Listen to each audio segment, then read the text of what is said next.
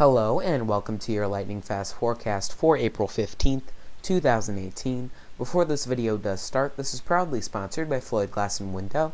Check them out in the link below. Let's get right into it today, starting with pollen. Pollen's going to be on the lower side of things.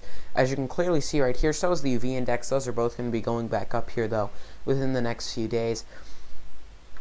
Getting into today, you can see things around 42 this morning, high of 43, and a low down to 31 this evening. 20% chance of rain throughout the day, so you could get an isolated shower, maybe even a little bit of snow. Nothing significant, though, in accumulations. Getting into the next seven days, things are actually going to be pretty windy here over the next two days or so.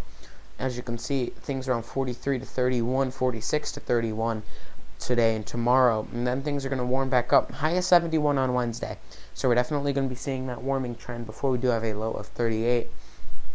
Thursday, things also getting windy.